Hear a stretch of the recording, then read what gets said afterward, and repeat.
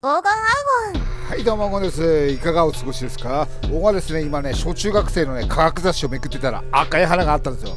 そしてねコスタリカって書いてあったんでコスタリカのことね調べてたんですよ。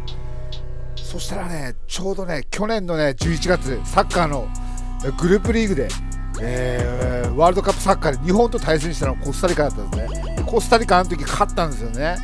でねちょっと怖いイメージがあったんだけど割とね幸福度が高い国で驚いたんですよ。まあそんなで。ごきげんよう。